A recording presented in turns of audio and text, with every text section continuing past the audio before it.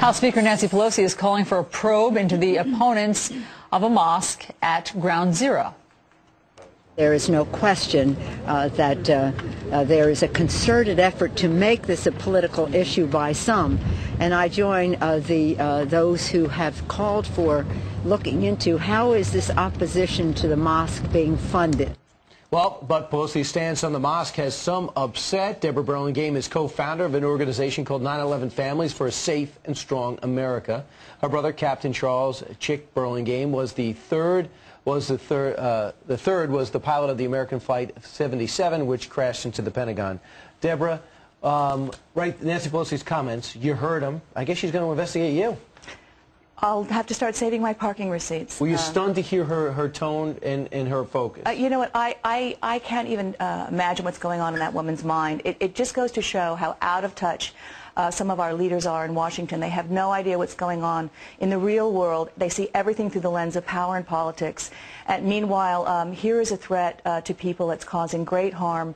Um, it's a serious concern going forward in terms of what this mosque at Ground Zero will mean to our enemies in the Muslim world, who will see it as a symbol of victory and who will use it to, to recruit um, because they will see it's this 15-story structure uh, with a commanding view where 20,000 body parts were collected as written by the divine hand of God. That's not something that would be good for our country. And Nancy Pelosi needs to get her head out of the sand and, and help her country. She needs to wake up. So many people were confused about the Speaker Pelosi's statements, so she went on to try to clarify. Here's a full screen of what she said. The freedom of religion is a constitutional right where a place of worship is located is a local decision. I support the statement made by the Interfaith Alliance that we agree with the ADL that there's a need for transparency about who is funding the effort to build this Okay. Islamic center. At the same time, we should also ask who is funding the attacks against the construction of the center. I don't suppose that makes you feel any better that she's also calling for an investigation into the funding of the mosque. Well, you know, no, notice how she has to couch it with organizations to protect herself. And,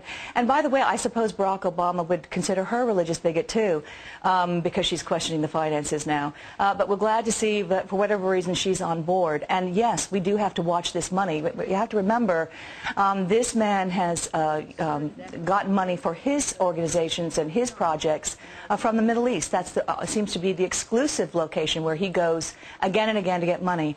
And Saudi Arabia is a great concern because the, the, the Wahhabis in Saudi Arabia, the, the Wahhabis are the one that funded the 15 hijackers, um, enabled them. Uh, they've been building mosques and madrasas and, and Islamic centers all over the world, and including the United Right. States. And when they said they could only find that piece of real estate in New York City, that is just uh, flat out false. But Deborah, you have so much more because you're doing some investigating on your own to talk about. We got to have you back. And thanks so much for sharing your view. Thanks, Brian. Thanks, Deborah. Thanks. All right, uh, there's some of the most bizarre